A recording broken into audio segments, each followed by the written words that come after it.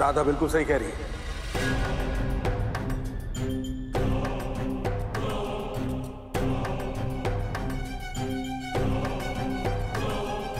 हमने की है उसके साथ घिनौनी हरकत। भैया। क्या बात कर रहा है भूषण? क्या हुआ मामा जी मोहन का नाम लेते ही आप डर गए। हाँ? अगर किसी को प्यार करना, उसे सम्मान देना घिनौनी हरकत है तो हम हैं गुनेगार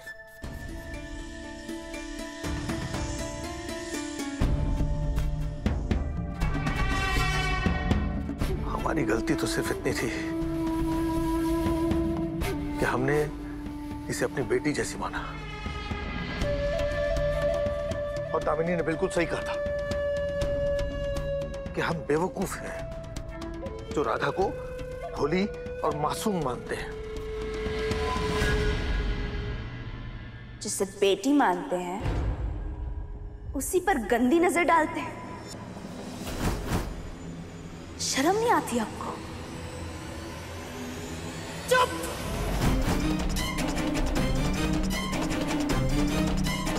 हमारे भैया के खिलाफ अब हम कुछ नहीं सुनेंगे राधा।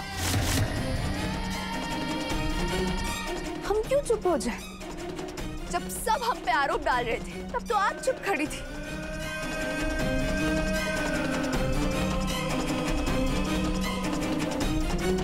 आपने तो हमारा साथ नहीं दिया। कुछ भी नहीं कहा, फिर हम क्यों चुप हो जाए?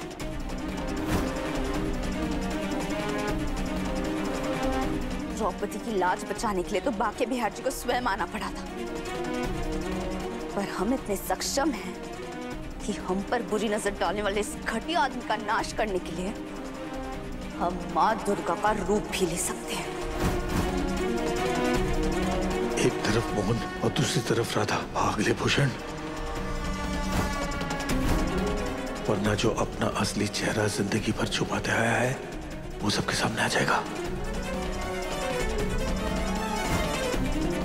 इससे पहले कि लेने के देने पड़ जाए, गायब हो जाए यहाँ से। बस करो बस करो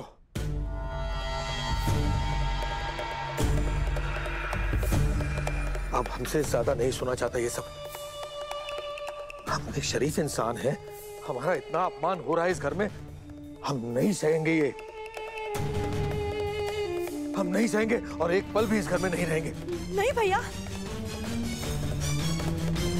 भैया हम जा रहे हैं। भैया भैया भैया तो रोक उसे माँ जाने दो ऐसे घटिया इंसान को यहाँ से।